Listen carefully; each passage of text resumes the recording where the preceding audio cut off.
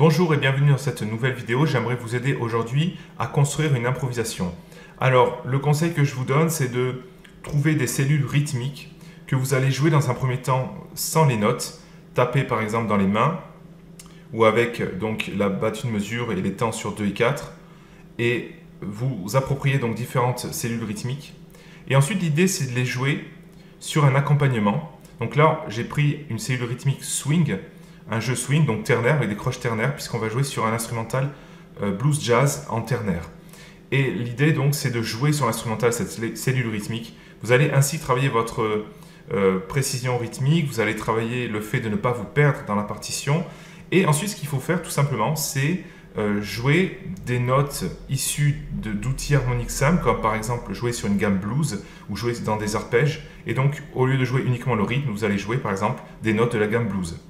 Et vous allez ainsi progresser en improvisation, tout simplement à partir de cellules rythmiques, donc en faisant un travail par étapes. Je prends un rythme, je prends un outil simple et je joue le rythme avec cet outil simple. Et ensuite, je change d'outil, etc., etc.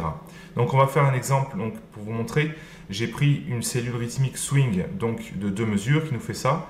Chute, ta ta ta tam tam tam.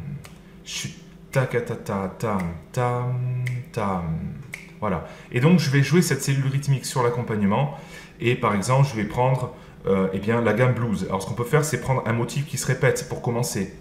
L'idée ici c'est de travailler le rythme et de construire par étapes une improvisation. Donc c'est parti.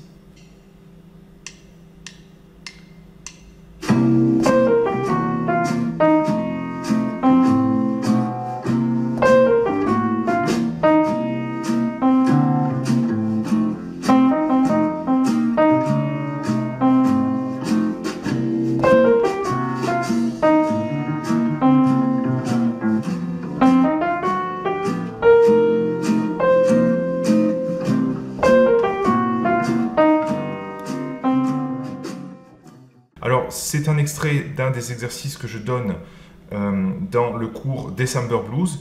Je vous mets le lien de ce cours en dessous de la vidéo.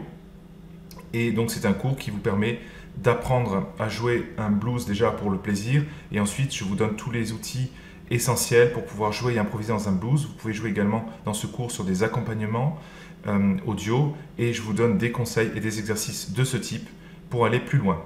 Je vous remercie pour votre écoute et je vous dis à bientôt pour une prochaine vidéo. N'hésitez pas à vous abonner à la chaîne afin de ne rater aucune des prochaines vidéos. Et je vous dis à bientôt